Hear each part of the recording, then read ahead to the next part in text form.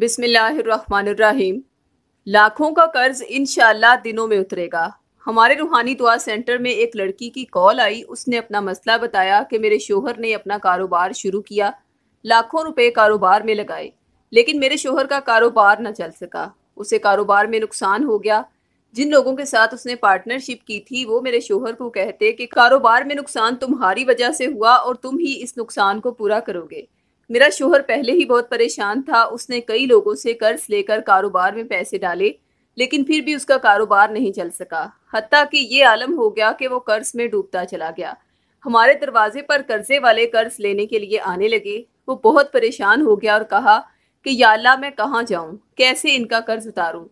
उसके मसले को मद्देनजर रखते हुए उसे सुरह इखलास का तावीज़ उसके शोहर के नाम से मनसूब शुदा दिया गया।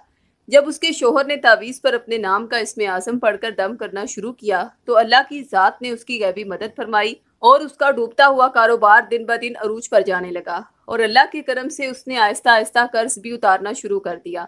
बेशक अल्लाह की ज़ात बड़ी बेनियाज है, जिस पर चाहे अपना करम फरमाए। तावीज़ हासिल करने के लिए अभी हमसे रबता करें। खवातीन सिफर तीन सिफर पाँच सात आठ नौ एक पाँच पाँच पाँच पर और मर्द हजरात सिफर तीन दो तीन चार सिफर दो आठ पाँच पाँच पाँच पर रबता करें। शुक्रिया।